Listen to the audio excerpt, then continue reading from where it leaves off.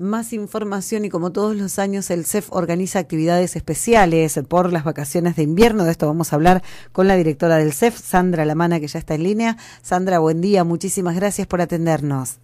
Buen día, ¿qué tal? ¿Cómo están? Muy bien.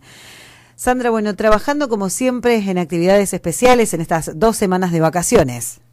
Sí, sí, sí, como todos los inviernos, nosotros no tomamos vacaciones, es un receso escolar y aprovechamos a hacer actividades diferentes a las que hacemos eh, en las jornadas corrientes, así que eh, bueno, ayer estuvimos con adultos en el parque, eh, hoy vamos a estar en el hipódromo con actividades al aire libre precampamentiles, que es la tirolesa, la palestra, puente colgante, juegos sociomotores y recreativos, así que con con edades de entre 9 y 12 años.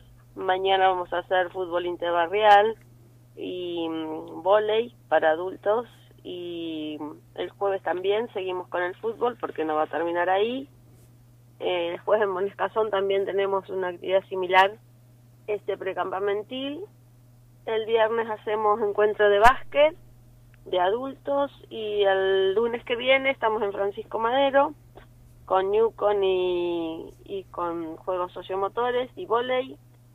Y el martes que viene en la Escuela Sarmiento Newcon.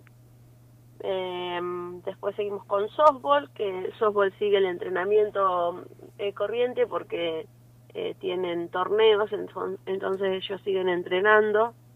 Así que bueno, eso sigue, digamos, con un cambio nada más de horario para, para que no vayan los chicos tan temprano eh, y aprovechar las horas de, luz. En el Sagrado Corazón seguimos con actividades recreativas y también en el hogar Inchauspe. Eso sería más o menos el cronograma de las dos semanas. Bien. Eh, ¿Esto es eh, exclusivo para alumnos del CEF o es abierto? Em, estamos hablando de que las clases sean abiertas. Lo que sí por ahí pedimos es que cuando se acercan a la actividad siempre eh, son si son menores concurran con un adulto responsable. Claro. Eh, porque como son actividades este donde em, eh, son especiales que pasan por un puente colgante o, o, hay que pasarlos por una tirolesa bueno implican cierto cuidado y riesgo y, y no podemos este si no hay un adulto que firme que pueda hacer esa actividad, no, no, no podemos hacerlo. Bien. A no deja de ser escolar, digamos. Claro, está bien. ¿A partir de qué hora es la actividad hoy?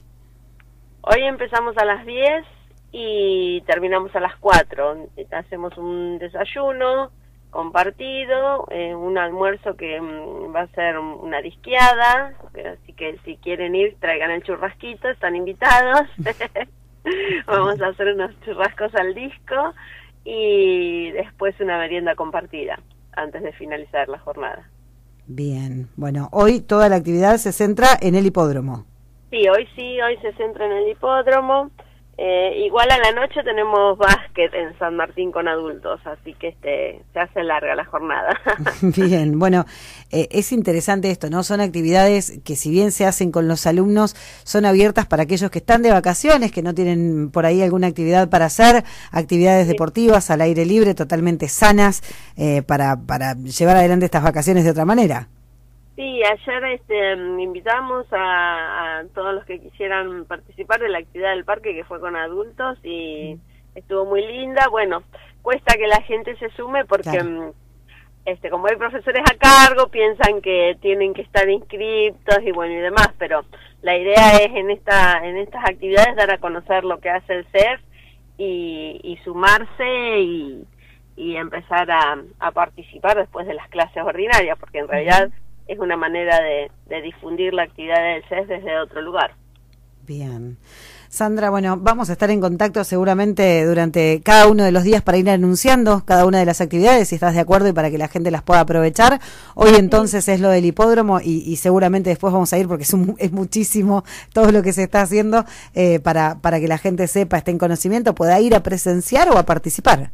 Claro, mañana, por ejemplo, en el sector de la escuela 5 se hace el fútbol interbarrial, que bueno, los profes ahí tienen buena buena difusión, pero bueno, este sí, ahí ya es para adolescentes, así que si se quieren sumar, se inscriben y bueno, participan. Bien. Eh, eh, así que bueno, se viene haciendo, o sea que está eh, instalada ya la actividad, pero si alguien se quiere sumar, se acercan con los profes este, y pueden participar.